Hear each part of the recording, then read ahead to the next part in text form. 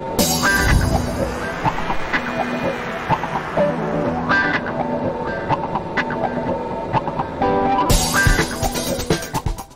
guys, welcome back to MP Crystal TV, the world of fabulosity.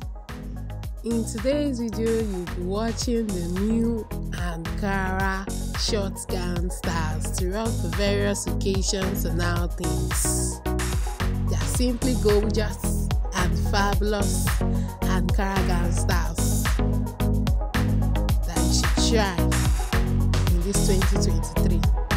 I do love to hear of what you think of my picks if you have made them. And please, if this is your first time here, don't forget to like, share, subscribe, leave a comment so that turn on your notification buttons to get notified whenever